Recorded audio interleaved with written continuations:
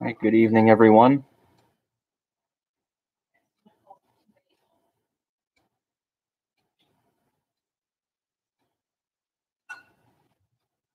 Can I be heard?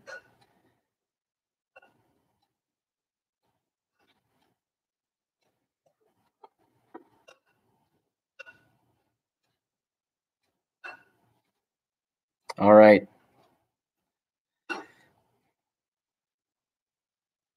Okay, good. I think I can angle myself around and get rid of that light behind me.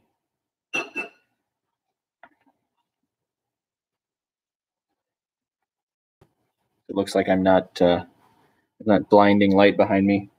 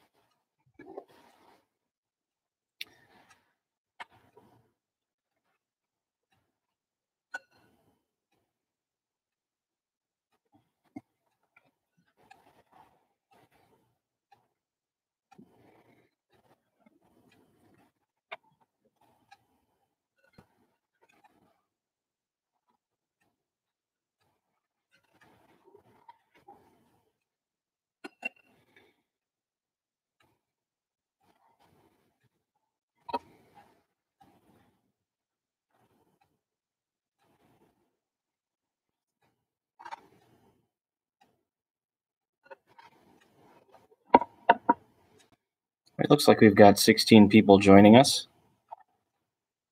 All right, everyone's got their wine. All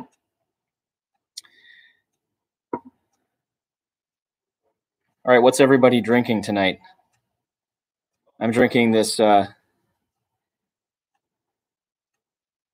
figure it's the Easter octave, so we can drink a somewhat scandalous and maybe joyful wine.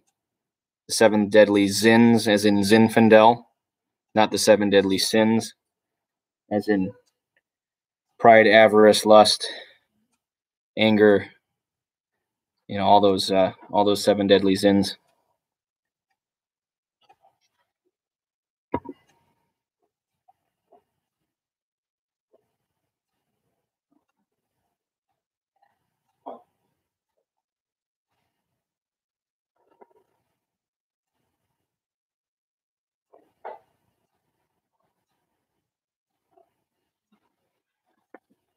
All right.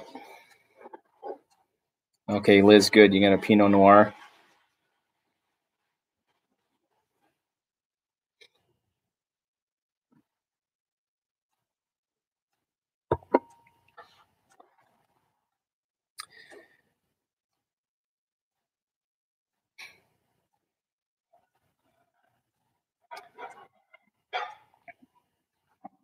Oh, drink it. Someone's someone there with the uh, water into wine joke.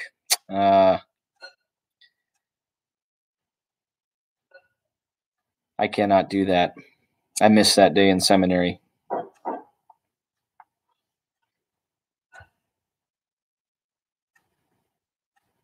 Oh, Moscato and a Corona. That's a good combination.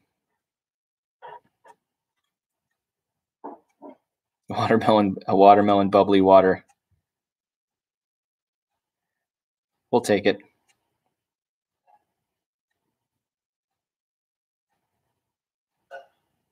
Okay, Pat and Linda have an A to Z Pinot Chardonnay. I'll, that's good.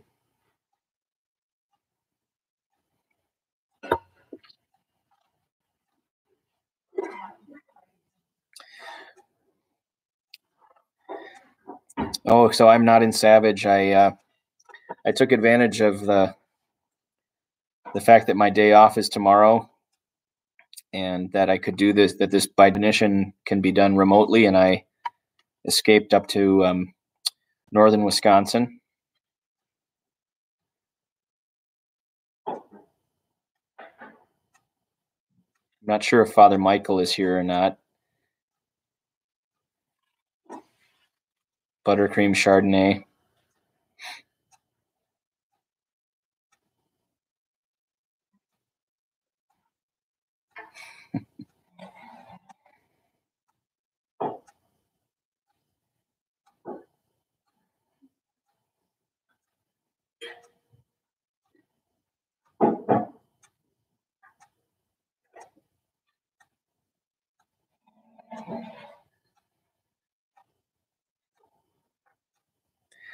All right. Well, we'll we'll let other people come on in as as uh, who knows. We got 29 right now,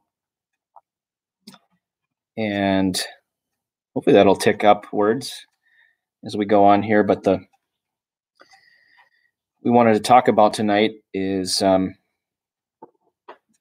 is just uh, rising from suffering, rising from from uh, from darkness, from discouragement, kind of that idea of uh, resurrection, since it is still the Easter octave. And I thought I would just share one of our one of the gospels that we hear during this time, uh, one of the resurrection appearances of Jesus from from Luke, one of the one of the most beloved, and um, just offer a little reflection, and then just invite uh, questions and discussion. I'll try my best to offer some wisdom. Um, we certainly have the wine. Let's pray that that the wisdom would come too. Um, can't promise that, but I'll do my best. And part of that is knowing when to say that's a look it up question. But hopefully the the Lord will offer uh, offer wisdom uh, through through uh, those who gather here tonight. So let's pray in the name of the Father and of the Son and of the Holy Spirit. This is from the Gospel of Luke, chapter 24. That very day, two of them were going to a village named Emmaus, about seven miles from Jerusalem, and talking with each other about the things that had happened.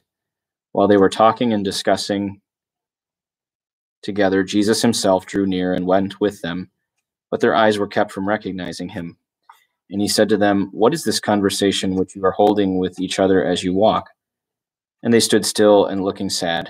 And one of them, named Cleopas, answered him, Are you the only visitor to Jerusalem who does not know the things that have happened there in these days? And he said to them, What things? And they said to him, Concerning Jesus of Nazareth, who is a prophet mighty in deed and word before God and all the people and how our chief priests and rulers delivered him up to be condemned to death and crucified him. But we had hoped that he was the one to redeem Israel. Yes, and beside all this, is now the third day since this happened. Moreover, some women of our company amazed us. They were at the tomb early in the morning and did not find his body, and they came back saying that they had even seen a vision of angels who said that he was alive. Some of those who were with us went to the tomb and found it just as the women had said, but him they did not see. And he said to them, O foolish men, slow of heart to believe all that the prophets have spoken, was it not necessary that the Christ should suffer these things and enter into his glory? Beginning with Moses and all the prophets, he interpreted to them all that the scriptures, all the scripture interpreted to them in the scriptures all of the things concerning himself. So they drew near to the village to which they were going.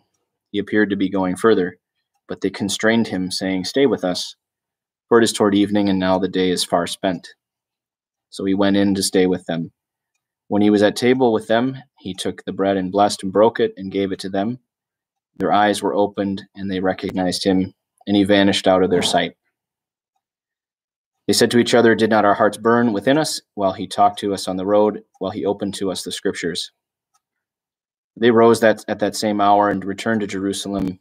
They found the eleven gathered together and those who were with them, who said, The Lord has risen indeed and has appeared to Simon. Then they told what had happened on the road and how he was known to them in the breaking of the bread. The gospel of the Lord. Lord, we ask you as we gather tonight to give us a sense of your presence with us, even through this remote gathering where we know that we are present not in the way we would wish, but uh, even still that we are present, that we are all about the same activity together in community, asking you to be with us, sharing the good things of the earth together, even a simple gift of good wine and good friendship, Christian friendship. We ask that your wisdom would be sent upon us through the Holy Spirit to prompt good questions, to enable good answers to be given, we draw together in deeper fellowship in you. We ask all this through Christ our Lord. Amen. In the name of the Father and of the Son and of the Holy Spirit. So I offer that reflection on the on the Emmaus passage in the Emmaus Gospel for a couple of reasons. Um, first of all, because it shows that the Lord wants to gather with us uh, through the sharing of through the sharing of the good things, even simple good things like the gift of, of wine. That uh, He did take uh, pleasure in that in the good things of this earth, the good things of His creation that He's given to us. That He gathers in the evening with these uh, disciples. That He walked with them and gathered with them for an evening fellowship. And so this evening we come together towards the end of this week, another week uh, where it's been heavy for us, uh, given our current circumstances.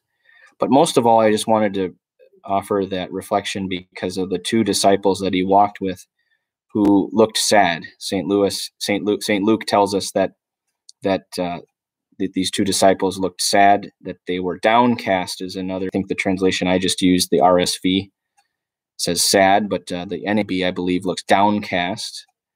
And I think I think I don't know for sure. This is this would be a look it up question. That it's the same word um, that is used uh, for the the rich young man in the gospel when the Lord tells him to go and sell all of his possessions and give them to the poor and follow him that the young man went away sad or downcast because he had many possessions. Another word might be crestfallen. Uh, so, um, to the extent that you and I, in these days, and I think that's why that we settled on this this topic of of uh, suffering and rising, uh, where we can feel downcast or sad or crestfallen, if you will, kind of poetic. Uh, how do we rise from that? How do we t- maintain a spirit of of uh, of joy? Uh, how do we let the resurrection still be the resurrection in these days? And uh, this gospel gives us an insight into that. We remember that Jesus walks with us, even though we can't always recognize him. That uh, this, the truth of the resurrection still pervades our lives and is still the truth that we live as Christians, uh, even though it might not seem very easy to do that right now. That we're limited. I was I was wearing the mask at the beginning. Um, that we have to mask ourselves, that we have to avoid human contact in, in a lot of ways where we'd normally be finding it, especially as we emerge into this time of year, which is supposed to be one that's joyful. Think of that beautiful hymn. I was reflecting and praying about the, the words of that beautiful hymn of, uh, of Easter, Hail Thee Festival Day. And there's that beautiful line. Uh, I'll see if I can type it in here. Um, every good gift of the year returns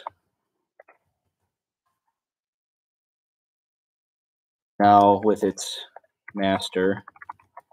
Let me just check that. Let's see if I.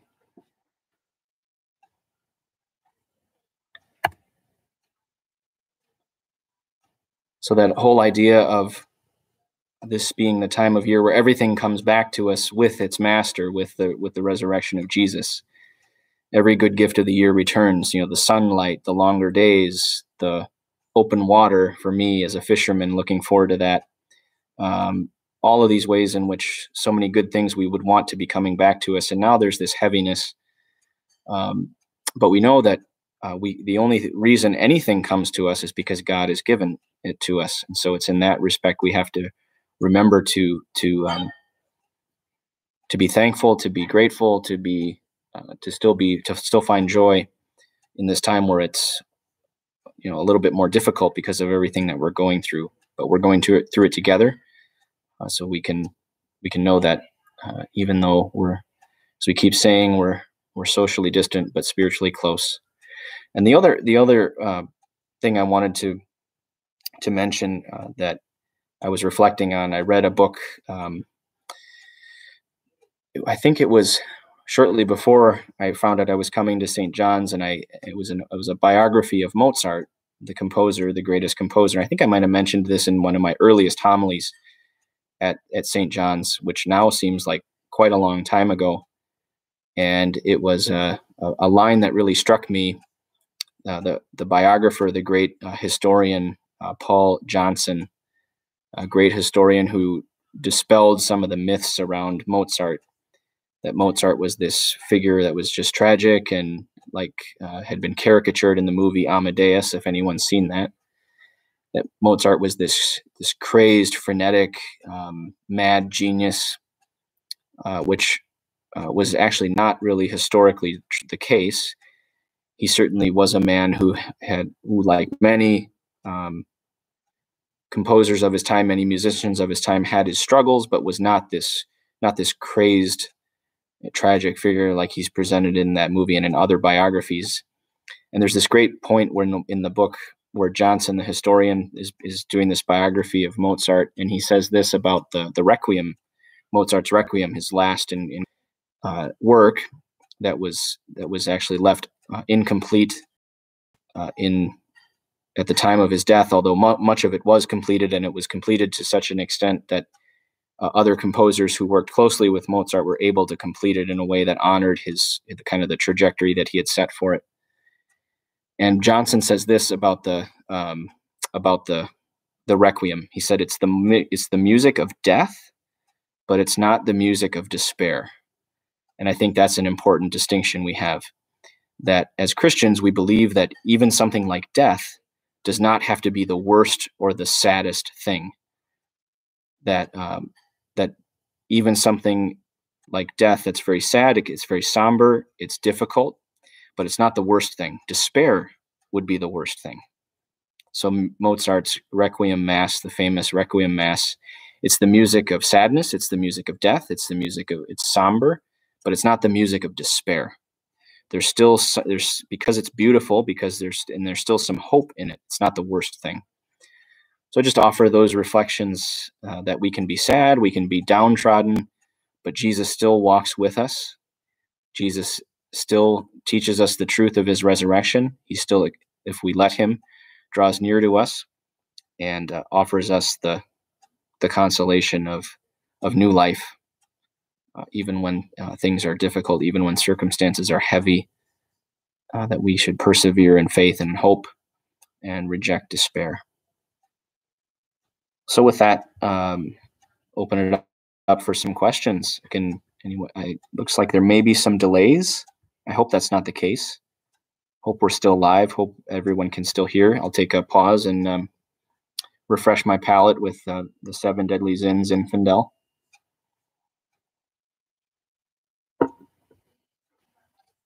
Okay. All right. Looks like there's maybe some people are experiencing experiencing delays, some are not. Hopefully most are not would anyone like to um, share at this point by way of the the live chat? Um, you know, just anything that comes to mind, any questions they have, specifically on this topic of of, of suffering and rising from suffering. Uh, if not, I can open it up for any kind of questions, anything that I'll take a stab at answering.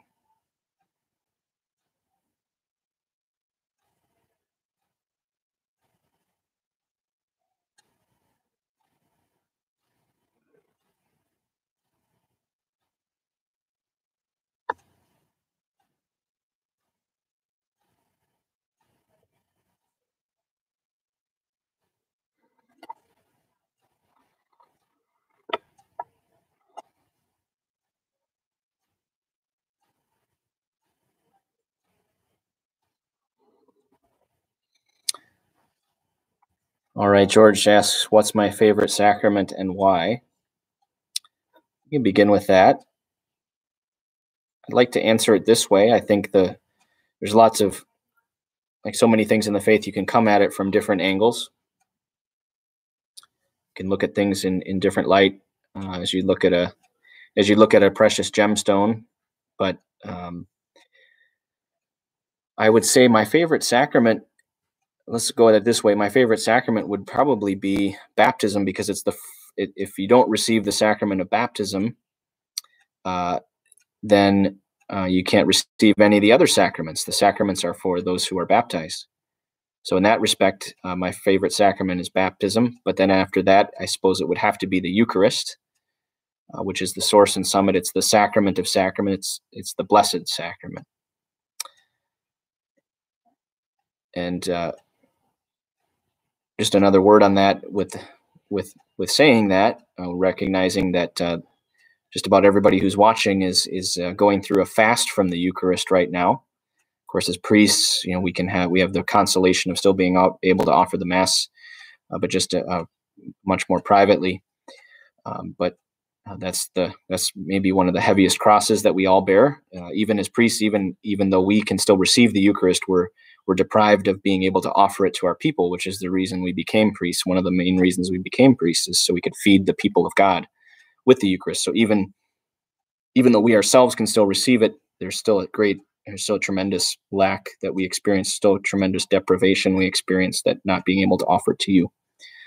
Um, my favorite book, my favorite book, my favorite book of the Bible, or my favorite book in general. My favorite book in general, I think I would probably have to say Brideshead Revisited by Evelyn Waugh for fiction. Uh, that book I was just mentioning, the the biography of Mozart, that was pretty good. I don't know if that would be close to the top. My favorite spiritual book, my favorite spiritual book would be He Leadeth Me by Walter Ciszek. I'll go and write these in.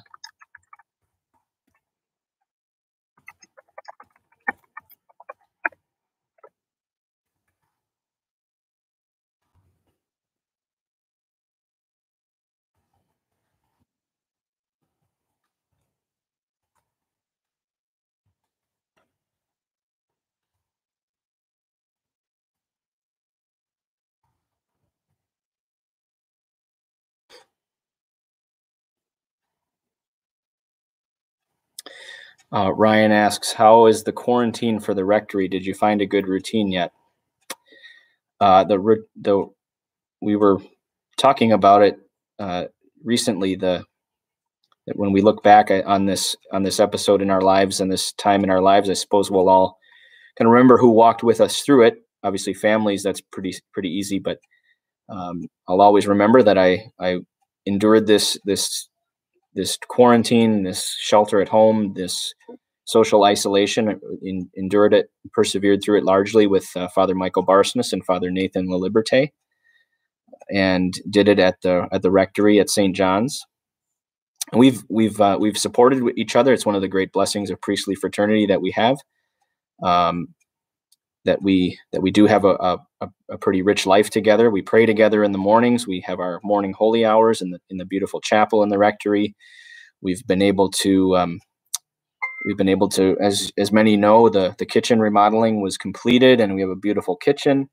We've been able to still share meals, even even before that, sharing meals, sharing uh, fellowship. Um, ending our day in prayer, ending our day uh, often just with some some laid back time um, we watched uh, we watched the finale of Lego Masters last night. Um, that that that show has uh, taken the rectory by storm in recent months, and as someone who hasn't watched a lot of uh, reality TV or TV at all in in the last few years, it was it was a lot of fun to do that, and uh, we. Um, we had mixed emotions at the winners of, of Lego Masters last night. I think um, I find Will Arnett as the host of that show kind of annoying, but also kind of charming at the same time. Uh, let's see.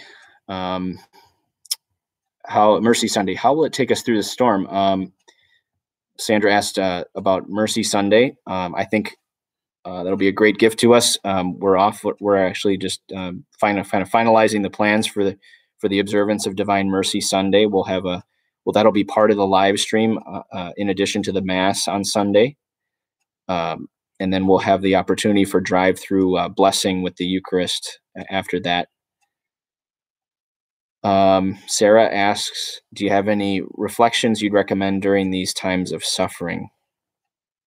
Yeah, I think. Uh, well, like it began with, uh, just really meditating on the on the scriptures, most of all uh, the the resurrection appearances, and realizing that um, that one of the common things, one of the common threads that links together so many of the, the resurrection appearances to Jesus after he rose from the dead, and and as he appeared to uh, the, his the disciples, the women, the, the, like we heard tonight, the the uh, the two um, the two disciples on the road to Emmaus is so often they didn't recognize him at first, and I think that's going to be something we'll learn and something worth reflecting on is through all of the hardships of these times, whether it's in family life, in in employment, in in the priestly ministry that that is impeded, that that priests, you know, Father Michael and I and Father Nathan we are just talking about our life in the rectory. So often we're kind of reflecting together how hard it is to to not have not to be able to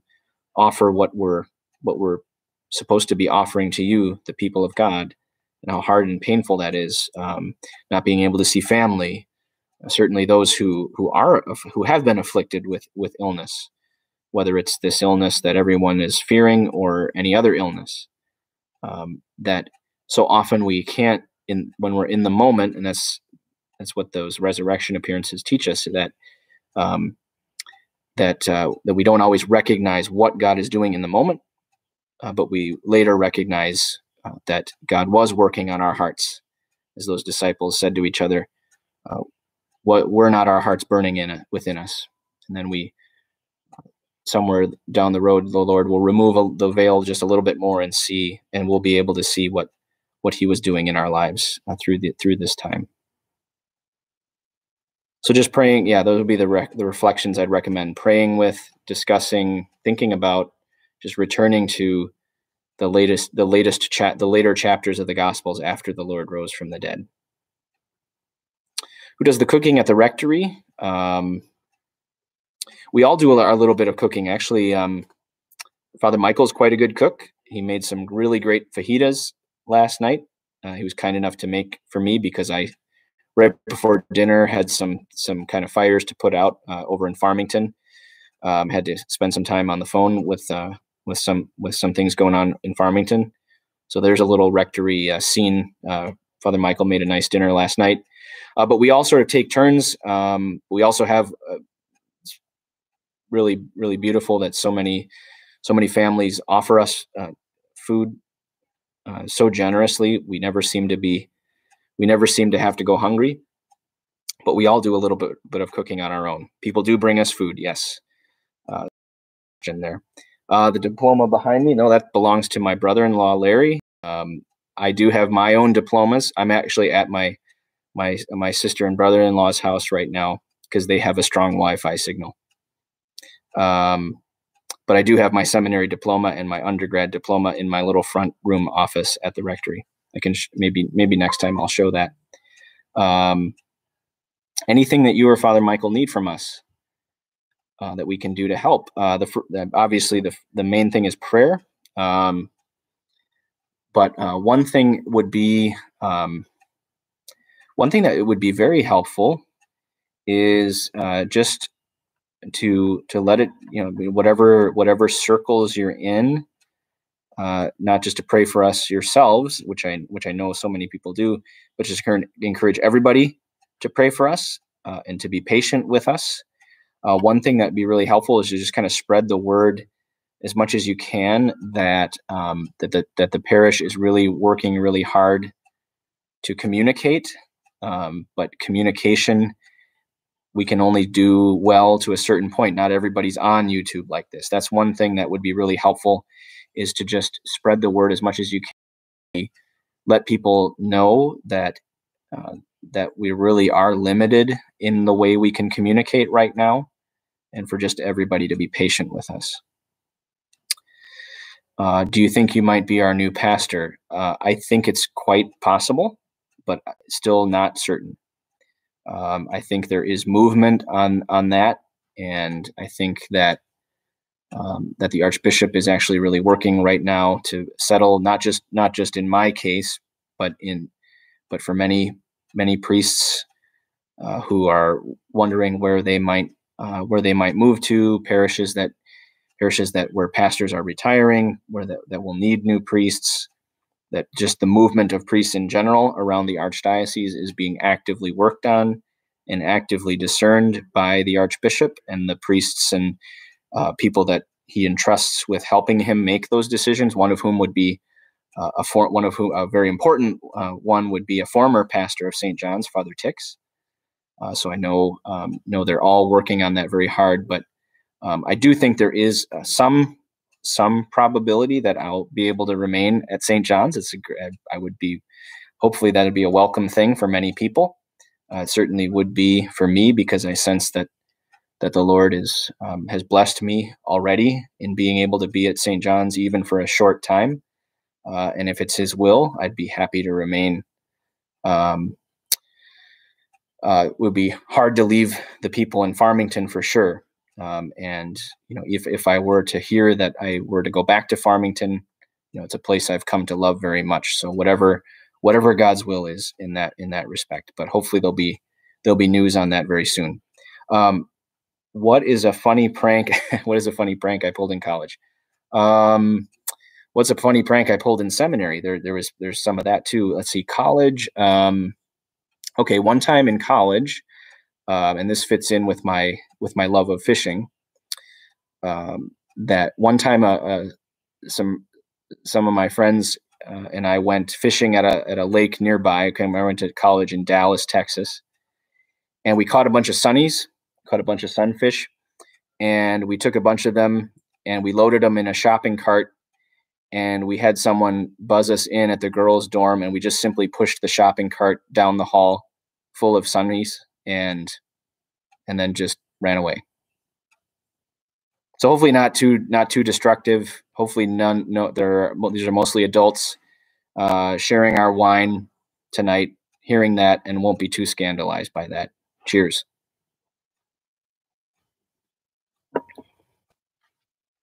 That was a pretty good prank. Yeah, the the word word spread of of the shopping cart full of sunfish that made its way down the hall of the girls' dorm. Uh, seminary uh, seminary prank. Um, so here's a here's the best one. I at least I think the best one I ever pulled off. So we have a um, we have a, a, a, wonderful brother priest uh, in our in our archdiocese who is two years ahead of me uh, in seminary. Father Nate Myers, who's the pastor of St. Francis Xavier in Buffalo, and a good friend, a good priest. Um, Nate, Father Nate, at that time, Nate uh, was a was a, a cinephile, loved some, someone who loved movies and had very collection of DVDs. In fact, um, wall to wall, his room was lined with shelves of DVDs, and so he he functioned like the Netflix of this. Remember, Netflix used to be a mail order system, uh, even at that time, and so he functioned like the Netflix of the seminary. He was very generous and letting letting guys come and borrow his borrow his movies. And one time, uh, knowing this, I, I, I, I, with the help of another brother seminarian, uh, played a prank on on Nate and uh, basically made it known that he was selling all of his DVDs and uh, posted flyers around the seminary one day to that effect, saying that he was he was uh, detaching himself, uh, divesting himself of all of his uh, magnificent DVD collection and had guys calling him and, and asking for certain movies. And so there, yeah, oh, I won't go too much further than that. Um, Lori, uh, I'm concerned about those in our in need in our community. Does St. John's have any uh, outreach to those uh, that need grocery delivery, rent? Yeah. So the answer is in absolutely yes, we do. It, we're we're sort of limited in what we can actually do at this time in that regard. Um, so, uh, but but I but we we can kind of we can certainly follow up on that. That's a good question. A lot of people are wondering about that. Very important thing. We're limited in what our mission can. Our mission never changes, but our what can change in a time like this is our ability to carry it out in the way that we're we're used to doing it. So um, we can certainly keep that conversation going.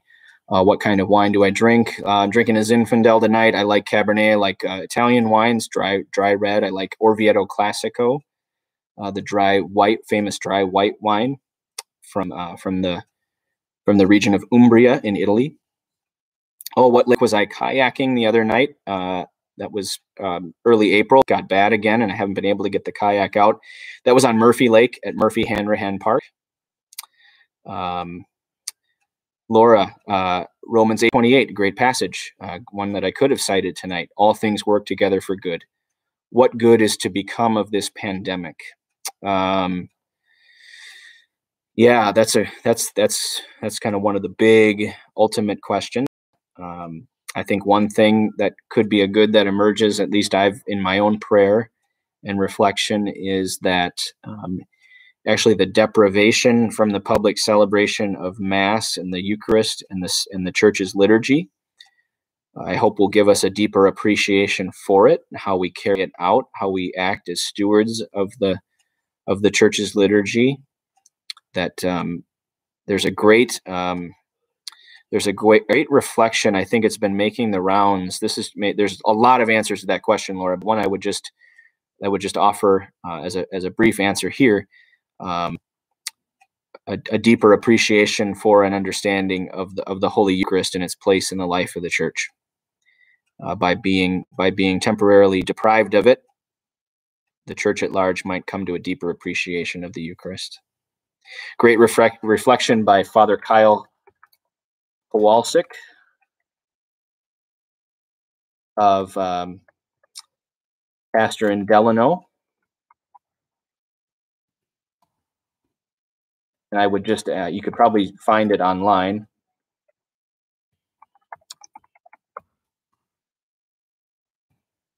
Get a great reflection uh, on the on the Holy Eucharist. That's really making the rounds that I would highly recommend. Good thing to come out of the pandemic.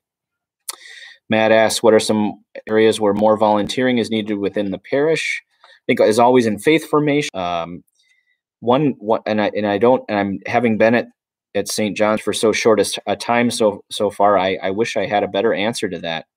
Um, honestly, I, before I would say very much, I would want to I would want to go back and, and ask the staff what they think about that uh, because I've only been here a short time, and that time has actually been interrupted so much by the by what we're talking about this by this situation of the pandemic. I don't have a great answer for that, but it's a great question. Um, which priests or priests have had the biggest impact on me personally? Uh, one before any before any other priest I could mention would be my my childhood pastor, Father Father Robert Fitzpatrick, Father Fitz, uh, who before he retired uh, just a couple years ago. Most recently was pastor in Roseville at St. Rose of Lima and Corpus Christi, but before that had been pastor at my home parish, St. John the Evangelist in Little Canada. Um, trying to think uh, what other past what other priests. Um, certainly, uh, priests that I knew in in college who were very influential. The Cistercians at the Cistercian Abbey of Our Lady of Dallas uh, in Irving, Texas, adjacent to the University of Dallas, where I went. Father Robert McGuire and Father James, uh, both uh, professors of mine in college, great priests uh, who I mention them tonight because they are recovering from COVID 19. So pray for Father Robert and Father James. They seem to be on their way back to better health. But many, many priests. Uh, another one would be Father Kevin Finnegan, who was a teaching parish seminarian in my days at at, uh, at St. John's as, a, as in in grade school, and who's now Father Kevin Finnegan, pastor of Our Lady of Grace in Edina. So many priests, almost too many to mention. Uh, Father Michael Barsness, of course, would be a influential priest in my life. Uh, will you keep up the live feed of daily masses after we're back to normal again? Uh, I don't think we have. I don't think we have decided that. I mean, obviously, we'll we'll probably still have the technology to do it. It's something that we're honestly the question has has uh, maybe just been raised in the most let's say just kind of in the most uh, informal way in conversations we honestly don't know but we will have the we certainly will have the technology to do it to keep going forward with it so uh, if people wish to if people wish to keep tuning into mass in that way if they're not able to get to mass easily or if you know for for any other reason we'll we'll certainly we'll certainly have the capability to do it and we'll keep discerning that and asking the lord what he wants us to do um, good to know people would would like for it to continue. Uh, Karen, uh, let's see, make sure I haven't uh, overlooked any questions here. Karen asks, uh, a couple weeks ago during the live Sunday Mass, you and Father Michael wore one red and one purple vestment. Uh, how come the two different colors? Uh, the answer to that, I think actually that might have come up in the in the um, in the live stream we did a few weeks ago. the the the short answer is to, is that um, they were both purple, just that one of them was a much rosier shade of purple, and just the way the camera. So, um, So there actually weren't two. There weren't in fact two different colors. The perception would be that there were two different colors, but um, but they were both in they were both purple. Just one looked uh, looked very red because of the camera effect. Um, Jill, uh, how do you feel about offering a Latin Mass at St. John's? Um, obviously, that's something that um, that is it's certainly possible. We don't have any plans to do that. If I would, I would want it to be something that would be discerned in prayer. I mean, I certainly, I certainly could say Mass in Latin and have done it privately on a very small scale. It's not, it's not my inclination. Somehow, you know, people would show up at mass suddenly and it would be in latin it would be something that would maybe just it would be done very small on a very small scale at the beginning with people who desired it and who asked for it and who would be comfortable with it it's never something i would want to just impose on people suddenly um, but the possibility is there if people would like for me to do that or father michael i think would be capable of it too uh, certainly a possibility but again nothing that would just some, something uh, that would be just be dumped on the parish uh, suddenly. Um, so when did I first realize that I want to be a priest? Um, the earliest I can remember having the idea would be fourth grade, and then when I actually made the decision to enter seminary would would have been right after college. Uh, Sandra asked, "Why isn't the spiritual communion read at every mass virtually?" Okay, so that that actually we've been getting, getting some emails about that. Uh, that is because um, we have just sort of been sloppy. So we we apologize for that. We did read it this morning because uh, it wasn't as if uh, we just decided to stop doing it. We just sort of forgot about it. We've been getting a little bit careless, so we'll keep doing that. Yep. Uh, heard that Bishop DeGrood caught a non-COVID bug. Have you heard if he is better? My, far, yes, I I believe he is he's doing much better. I think that's true. He had he had a very serious but not a COVID, uh, not a coronavirus induced uh, influenza. I believe he is he's doing quite a bit better lately. What kind of wine is the church wine? Um, reminds me to take a take a little sip.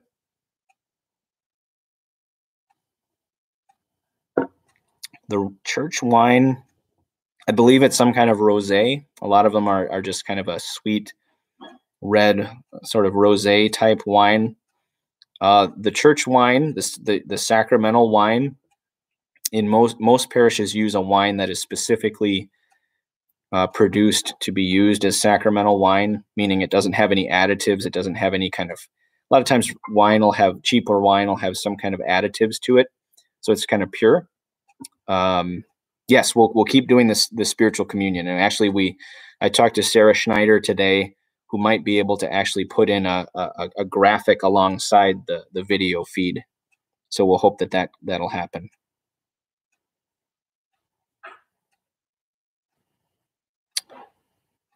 Okay, let's see if I've caught up on everything here. I think so.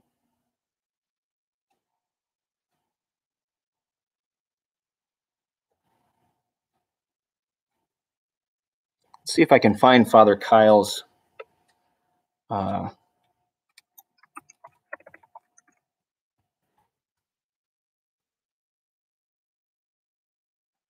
if I can find Father Kyle's wonderful reflection on the Eucharist that I re referenced a while back.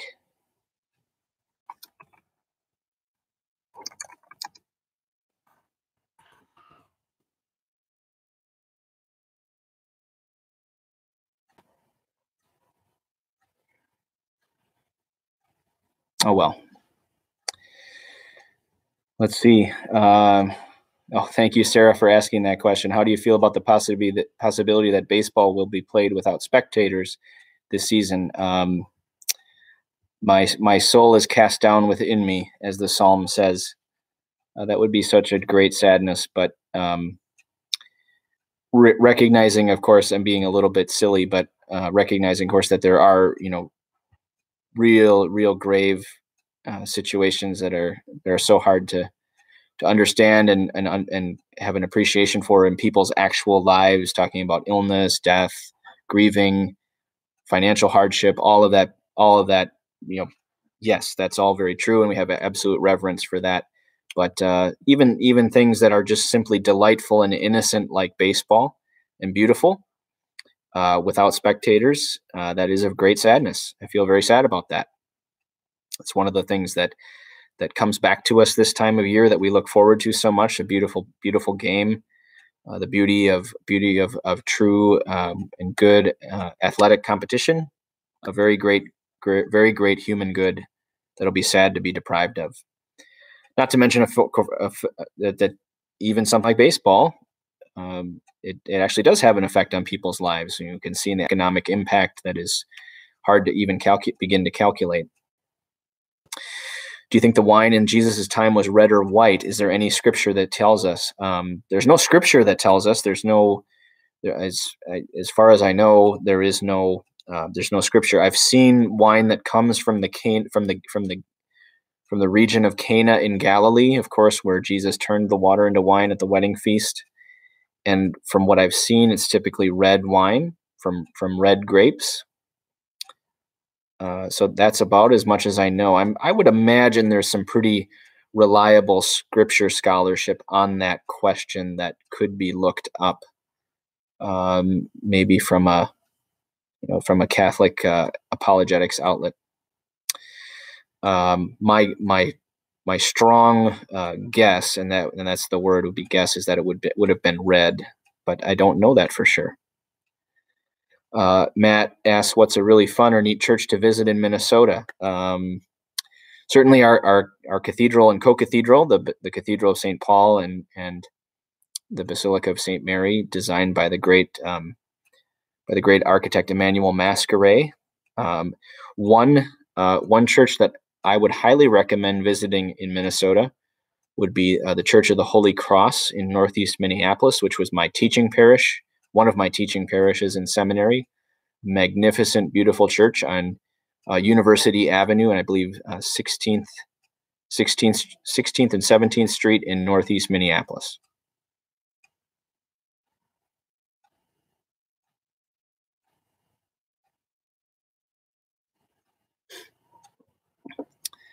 Uh, I do enjoy the art outdoors. Uh, my favorite activity. Yeah, and did a turkey seriously run into the office door at church a while ago? Yes, that's true. That uh, a turkey did um, get into a sparring match with a reflection in the front window of the church office uh, and the parish office entrance there on 125th Street. Um, I do. I'm relatively new to it, um, and my my favorite my favorite outdoor activity, uh, without a doubt, would be um, bass fishing, bass or walleye fishing. Yep. God created us humans to be in community, but He also created the angels who are also in community with Him. What's the difference? Why us when He had them?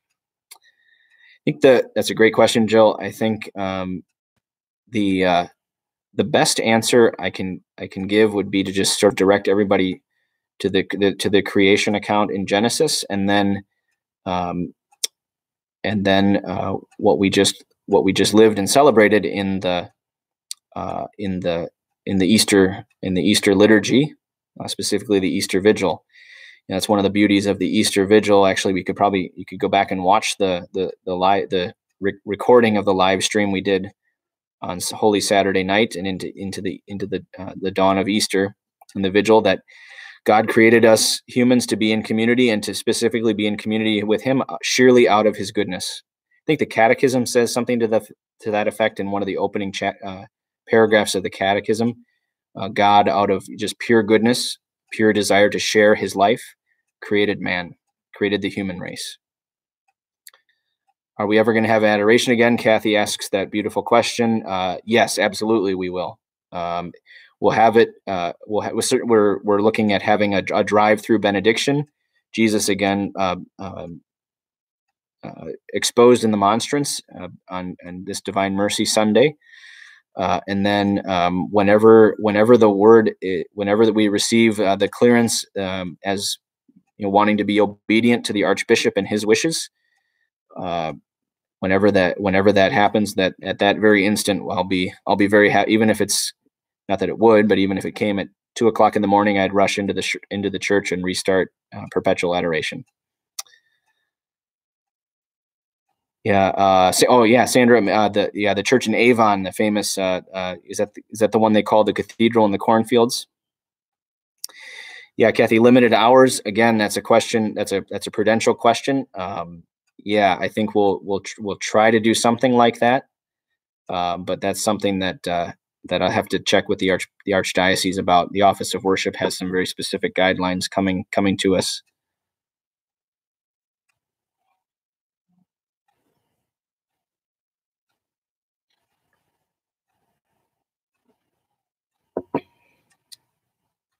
Yeah, Barbara asked the how's the church doing with funding since people aren't at Sunday Mass and using envelopes?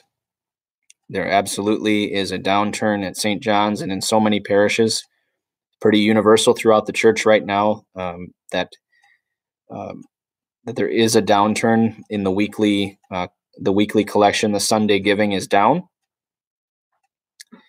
and again, even though it you know, every day this goes on, it seems longer and longer that we've been doing this. But to be honest, there's actually not uh, uh, there's not a great ability to forecast just yet.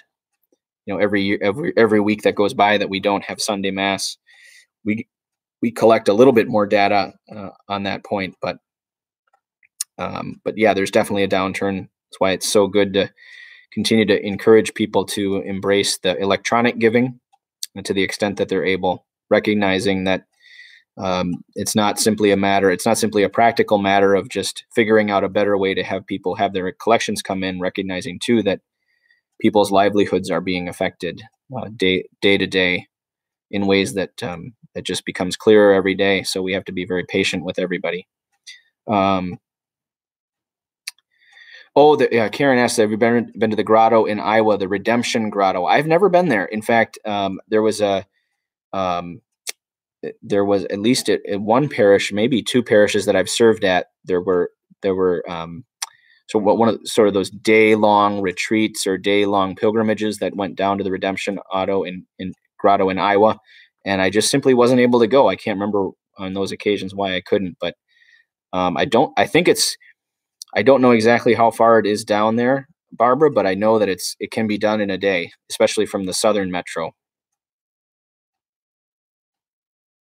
Chris asks, I grew up with a Lutheran dad. How one time one time he asked, How can missing Sunday Mass be compared to stealing or murder, both both mortal sins? I know how I answered, but I'm wondering how you would. I well, Chris, if you answered because uh, because it's it's it's clearly outlined in the in the in the Ten Commandments, that would be the that would be the answer. It's it's it's clearly the the divine positive law. Was the Easter collection up to par? Um, that's a that's a check on it question. Um, Matt asks, uh, better trip, Holy Land or Rome slash Vatican? That's tough, really tough. I think um, I would my I would say, and this is just person personal preference or or how I was having been blessed to go to both places. I would I would give the slight edge to the Holy Land. Uh, do I enjoy visiting people's homes for meals? Yes, I do. I do. Uh, Kathy remarks that the trip to the grotto is worth it. Great. Uh, Barb and Gray here, just uh, Chardonnay. Good. Okay.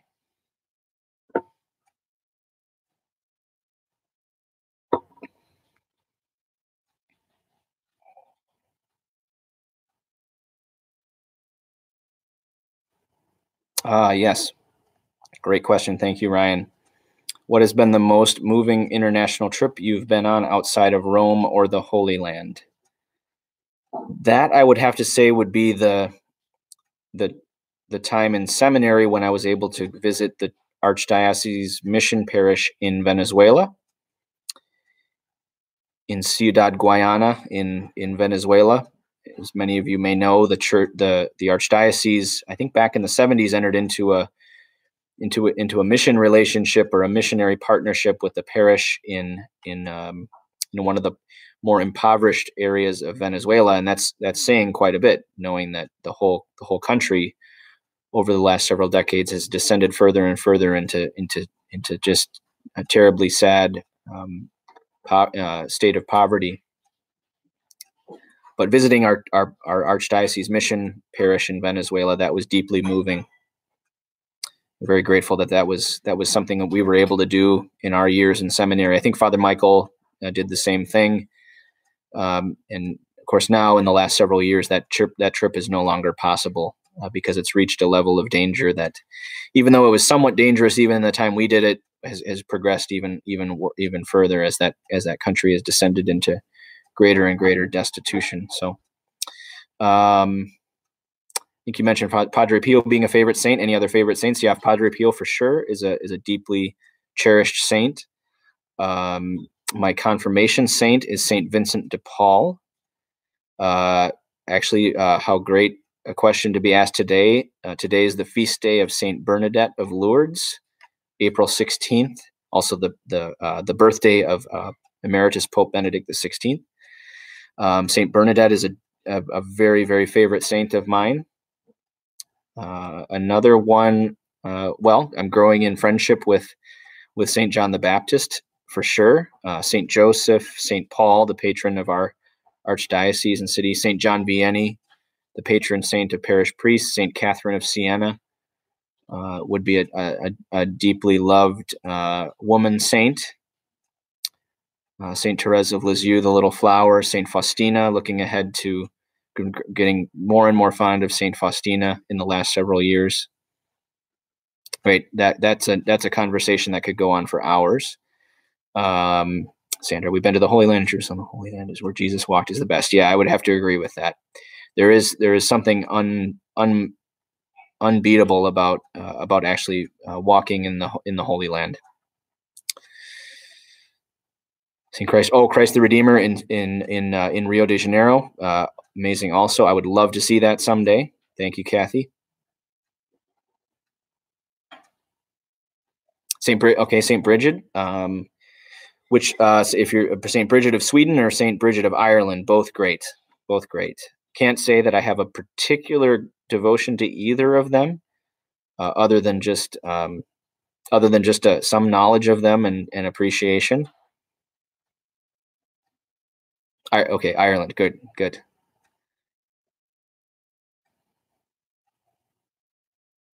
Actually, we had the privilege of of saying mass at the grave of of Saint Patrick a few years ago, which is in Northern Ireland, and I believe let's see, I'm I can't remember for sure right now uh, if the remains of Saint Bridget are also buried in the same place. I think they are. I, th- I want to say they are. I'm. I could be. Could be mistaken about that. Uh, typical day. Um, typical day would involve um, getting up. Um, it's still. It's still honestly, Barbara, and, anybody who's interested in the answer to this question, um, uh, still kind of figuring out the typical day, at least when it comes to being at at St. John the Baptist at and and you know feel I feel kind of strange in this time because I feel like I barely just arrived had the chance to arrive and get settled at St. John's before all of this all the strangeness of this pandemic situation hit. Um, but uh, ba- basically, a typical day, holy hour in the morning, mass, breakfast, several cups of coffee, um, seems like meetings. Um, there's it's hard to say that there's a typical day for a priest because so much can change so quickly. Um, try to fit in some exercise somewhere. Um, depends on what the dinner plans are. If there's evening meetings, in the evening meetings. Hopefully, there's at the, at the end of most days is some time for fraternal time with Father Michael and Father Nathan. Um, prayer in the evening in bed. Um, yeah, nothing normal right now. Agreed. Uh, Rock of Cashel, 17 miles from my grandmother's home. To Greg, thanks, Greg. Been, I've been to, I've been to the Rock of Cashel. Beautiful place. Looks like we just hit the hour mark. How's everybody doing?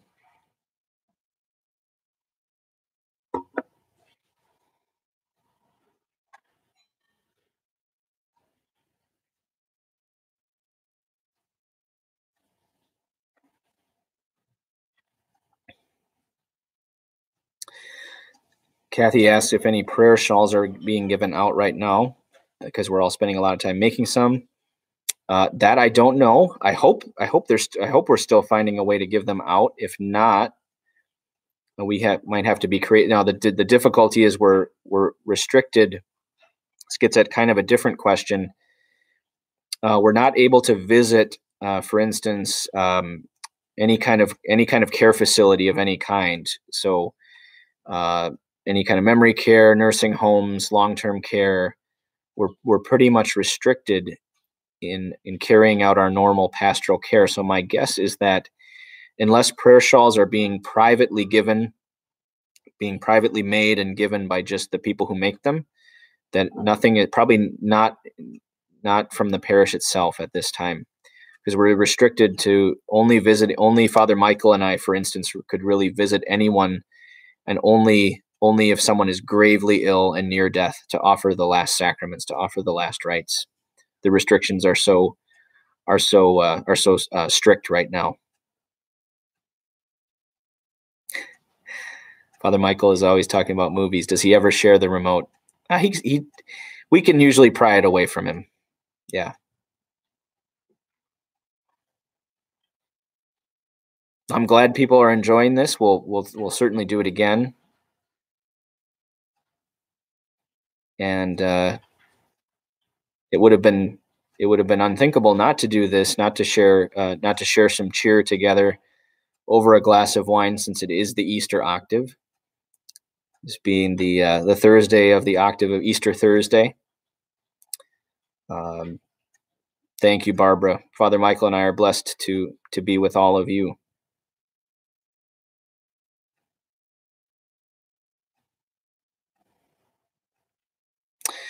Uh, Thanks, Chris. If you're ta- if you're talking about a, a an incorrupt saint, I think that's probably what you're referring to.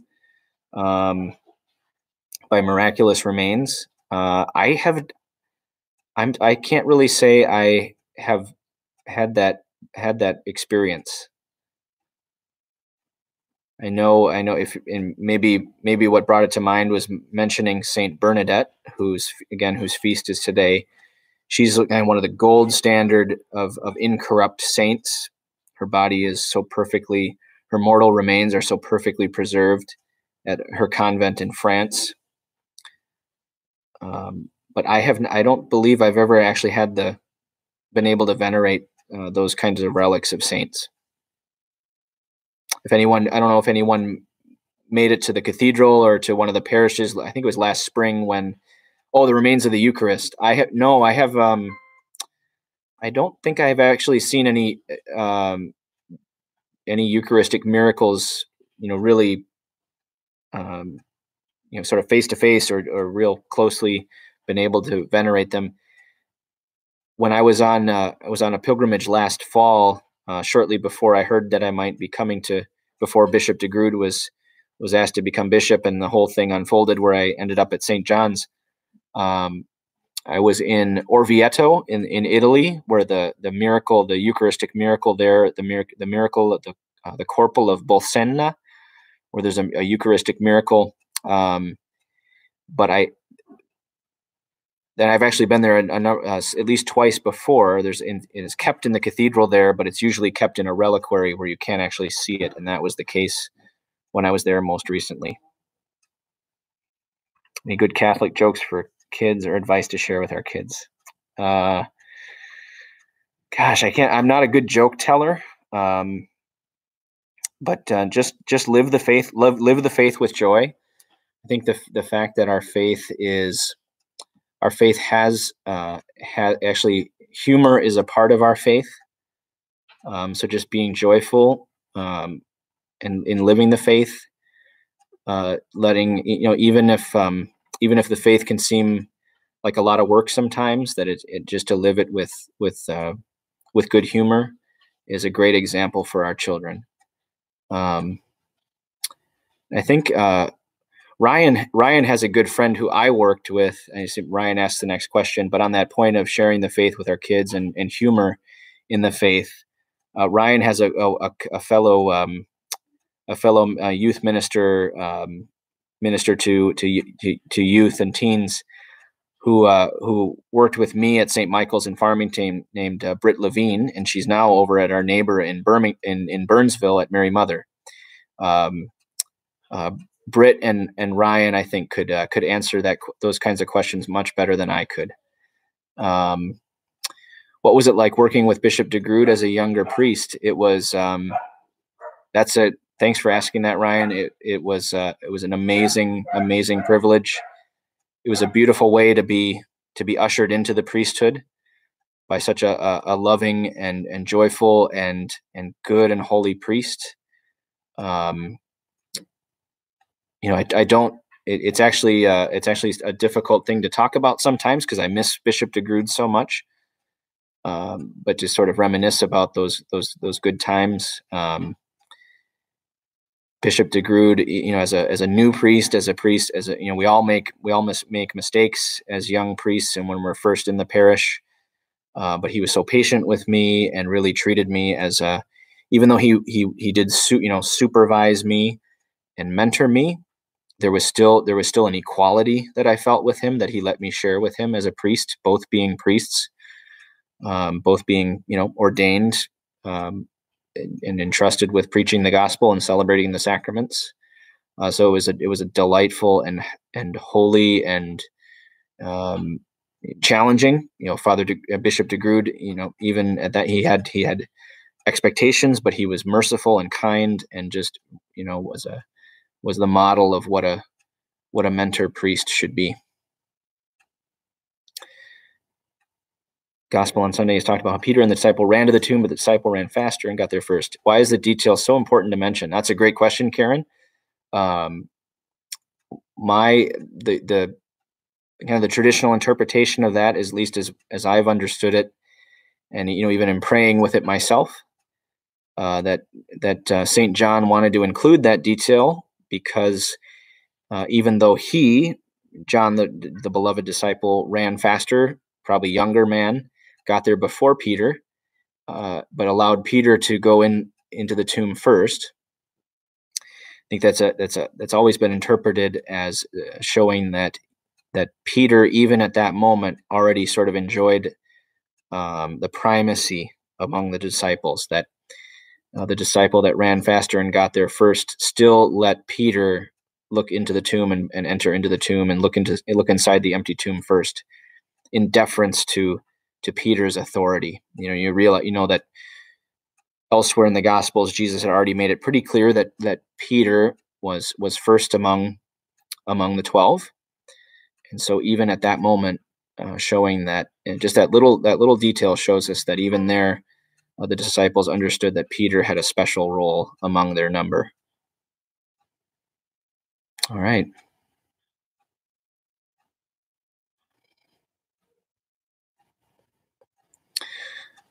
Well, we could probably go all night, but um, but I think if if you'd be so kind, I'll uh, I'll wrap it up there, um, and I'll connect back with with Liz and uh, all those uh, all of us who are are continuing and Sarah Schneider and all of us who are continuing to to figure out how to bring good content to the parish uh, by way of technology and we'll we'll certainly do this again. Um, maybe not precisely. I think we probably had one in the original sort of vision of of this wine and wisdom. There, there would been there would have been one more. I can answer that real quickly, Matt. Um, do I teach a class at this school? Not yet. Um, in fact, I barely, really barely had the chance to even visit the school um, in such a short time. I visited several of the faith formation classrooms before we had to sadly end end the um, or or at least take hit pa- hit the pause button because of the the pandemic. But um, certainly, I would love to um, love to be in the school as much as possible. All right, everybody is you're so welcome, and thank you for thank you for joining. It's just uh, it's just great to know everybody's out there and still hungering for for community and for the the the, the good things that God has God has revealed to us of himself and the, the, the gift of faith that we all share. So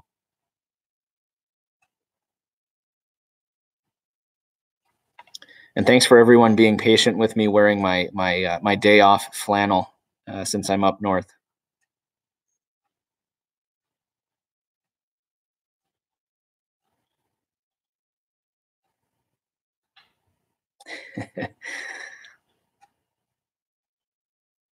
All right. Well, let's um let's just uh end with um by praising the Trinity together.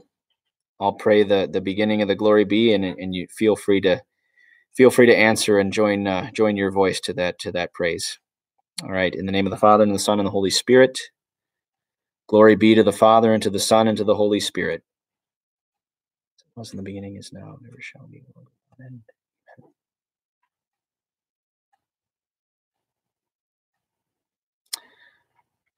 All right. Well, cheers, everyone. Thanks for sharing. Uh, thanks for sharing the the fruit of the vine tonight. And uh, everybody be safe and be healthy, and um, keep observing the social distance until we can draw to draw close together again.